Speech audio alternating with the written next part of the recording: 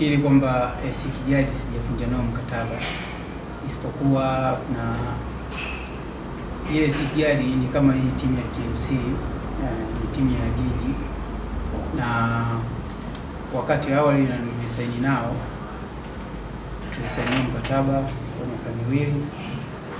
Ah, lakini jambo lililokuja kutokea ah, nilipewa taarifa na viongozi kwamba kuna kuna mabadiliko katika serikali, kwa maana kwamba timu zote ambazo zilikuwa zina zinadhaminiwa zinapewa maslahi au kufaidishwa na serikali, serikali imeweza kujitoa kwamba zile timu ziweze kujiendesha zenyewe eh, lakini sasa ile timu ikawa ni timu ambayo haikuwa na vyanzo vya mapato kwa hiyo kwa muda ule ikawa ni ngumu sana wao kuweza kujiendesha na kuweza kumudu zile gharama ambazo pia zilikuwepo.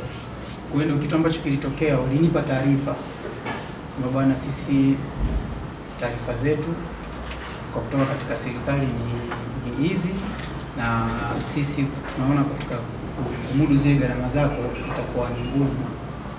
Ah, Kwa hiyo kama una uwezo wa kutafuta timu kwa sababu wewe bado ni mchezaji, unahitaji uwezo kukaa nje muda mrefu.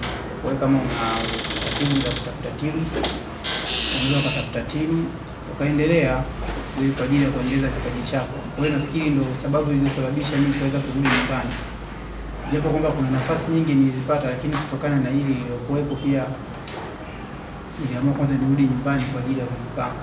Kwa hiyo nafikiri kwa wale watu waliosema kwamba nilivunja mkataba waelewe kwamba sababu zilizosababisha mpaka mimi kurejea hapa nyumbani.